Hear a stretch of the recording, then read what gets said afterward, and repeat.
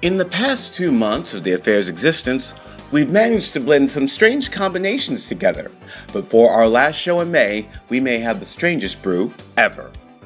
First, we celebrate 26 years and one day since Swing Out Sisters' debut album, It's Better to Travel, went to number one on the UK charts.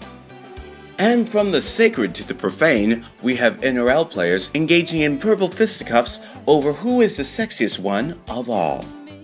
And we also look at the Cleo Bachelor of the Year contenders, this year featuring an openly gay contestant.